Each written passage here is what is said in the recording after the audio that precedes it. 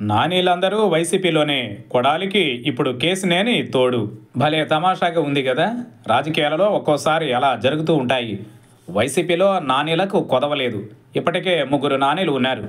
వారే మాజీ మంత్రులు పేర్ని నాని ఆళ్ళ నాని కొడాలి నాని. ఈ నానీలకు తోడుగా మరో కేసునేని నాని కూడా వైసీపీలో చేరిపోతున్నారు. నాకు జగన్ నచ్చారు.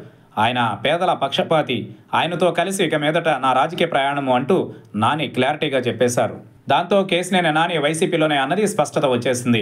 ఇక్కడ మరో ముచ్చట కూడా చెప్పుకోవాలి. ఇందులో ముగ్గురు నానీలు ఒకే జిల్లాకు చెందినవారు. ఉమ్మడి కృష్ణా జిల్లా రాజకీయమంతా ఈ నానీల మీదనే ఆధారపడి ముందుకు సాగనుంది అని అంటున్నారు. ఇంకో విశేషం కూడా ఉంది. ఇందులో ఆళ్ళ నానిని పక్కన పెడితే మిగిలిన ముగ్గురు ఫైర్ బ్రాండ్లే. వీరు మీడియా ముందుకు వచ్చారంటే అవతల పక్షానికి మాటలే ఉండవు అన్నట్లుగా ఉంటుంది సీన్. కొడాలి నాని పేర్ని నాని వైసీపీ వైపు ఉంటూ టీడీపీని ఇప్పటిదాకా గట్టిగా కార్నర్ చేసేవారు. ఇప్పుడు చూస్తే కేసునేని నాని తన మార్క్ చూపిస్తారని అంటున్నారు. దానికి ఉదాహరణ అన్నట్లుగా జగన్ని కలిసి వచ్చిన వెంటనే కేసునేని నాని చంద్రబాబు మీద చాలా సంచలన కామెంట్స్ చేశారు. ఏపీకి చంద్రబాబు అసలు పనికిరారు అని పెద్ద బాంబే వేశారు. ఇక చంద్రబాబు కలల రాజధాని అమరావతి అంటూ అచ్చం వైసీపీ బాటలోనే మాటలు మాట్లాడారు.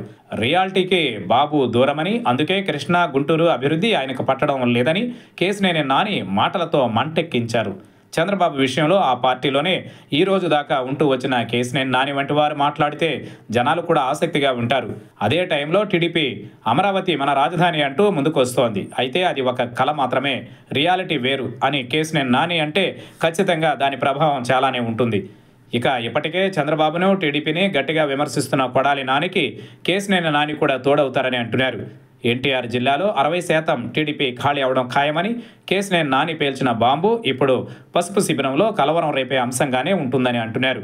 ఏది ఏమైనా వైసీపీ టీడీపీకి గుండెకాయ లాంటి బెజవాడలో రాజకీయాలను ముగ్గురు నాణేలతో మలుపు తిప్పేస్తోందని అంటున్నారు. టీడీపీకి ఇది మంటెక్కించే వ్యవహారమే కాదు. రేపటి రోజున బిగ్ ట్రబుల్స్ని క్రియేట్ చేసేదిగా ఉంటుందని అంటున్నారు.